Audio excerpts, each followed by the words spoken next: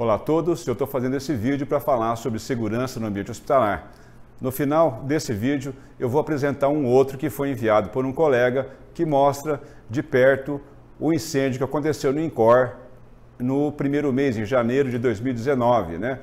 Então, é, pelo vídeo, vocês vão ver, e pela quantidade de fumaça, a importância de tomar decisões como, por exemplo, de onde eu vou captar o ar que eu vou utilizar para climatizar todo um hospital. Será que se o ponto de captação do ar estivesse próximo da fumaça que vocês estão verão no final do vídeo, será que essa fumaça entrando no hospital, que tipo de dano ia causar? Qual é o plano de emergência que eu teria para realizar para que isso, para minimizar um eventual dano dentro do hospital?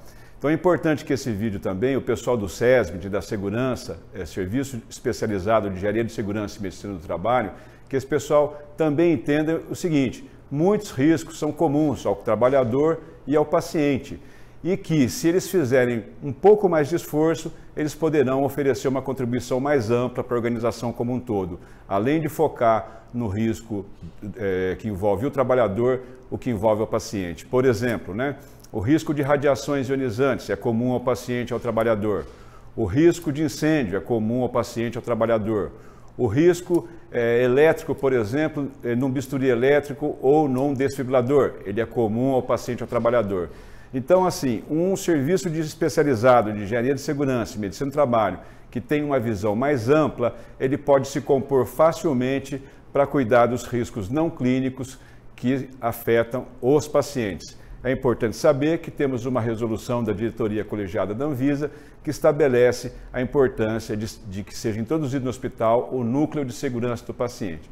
Então é isso, é esse ponto que eu queria chamar, né? Atenção, essa integra necessidade de integração entre engenharia de obras hospitalares, engenharia clínica, é, engenharia hospitalar e o SESBIT é muito importante, não só para a segurança do trabalhador, como segurança do paciente e de todos os usuários da edificação. Então é isso. Agora vamos ver o vídeo. Espero que vocês é, se impressionem com o vídeo e que pensem, é, se isso acontecesse no hospital de vocês, o que, qual seria a consequência provável? O incêndio que vocês estão vendo aconteceu no INCOR, em janeiro de 2019. São três torres de resfriamento. A função delas é remover ou rejeitar o calor que é retirado de dentro do ambiente hospitalar. Existe toda uma mecânica de refrigeração que não, que não vem ao caso, mas essa é a função dela. Como ela é feita de fibra de vidro, ela é uma fonte é, de combustível enorme, até porque o oxigênio não pega fogo. Quem pega fogo é o combustível, que nesse caso é o material da fibra. Ele gera uma fumaça tóxica, né? em geral as pessoas acabam morrendo por, por intoxicação e não por asfixia, porque desenvolve uma, é uma série de consequências, né, a morte desse tipo. A gente viu isso na boate Kiss. Então você tem gás sulfídrico, cianítrico e, e mais subprodutos é, da combustão desse tipo de, de material. Também é uma fonte de risco por ter, porque usa uma água, né, a água de torre, ela é ligeiramente aquecida e é possível que se encontre aí Legionella pneumófila, que é um, uma bactéria que causa uma doença pulmonar parecida com pneumonia, mas não é pneumonia. Então o problema é diagnosticar essa doença corretamente.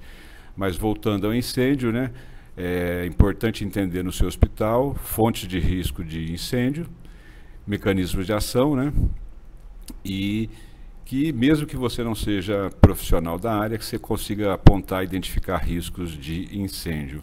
Pessoal já dando combate, é, no final vocês vão ver um pouco algumas fotos do pessoal dando combate do, vizinho, do edifício vizinho e uma foto do Google Earth também falo, mostrando aí geograficamente onde que isso pode ter acontecido onde, e também tem um local onde tem outras quatro torres de resfriamento. Né? Então é importante saber que essa fonte de risco existe e está pronto para combatê-lo. Então, como vocês puderam ver, um vídeo dessa natureza deixa várias lições para nós que somos da área de engenharia, profissionais que atuam na área de engenharia e manutenção, da importância de uma boa localização de uma torre de resfriamento e principalmente no momento do projeto na escolha do ponto de captação do ar que vai ser colocado dentro do ambiente hospitalar para renovar o que existe lá dentro. Então, o ponto de captação de ar deve estar distante de fontes é, de material combustível que possa gerar fumaça e essa fumaça tóxica ser levada para dentro do hospital. Uma outra dica importante, hoje em dia é muito comum o pessoal utilizar a pressurização de escadas de incêndio, isso é feito através de um ventilador centrífugo, então a escolha desse ventilador centrífugo, do local onde ele vai ser instalado, também deve considerar esse fato porque é um risco muito grande de eu poder pressurizar a escada de incêndio com fumaça originada pelo fogo que eventualmente ocorra dentro de uma edificação hospitalar. Então é isso aí, espero que vocês tenham gostado e no mais, muito obrigado pelo seu tempo.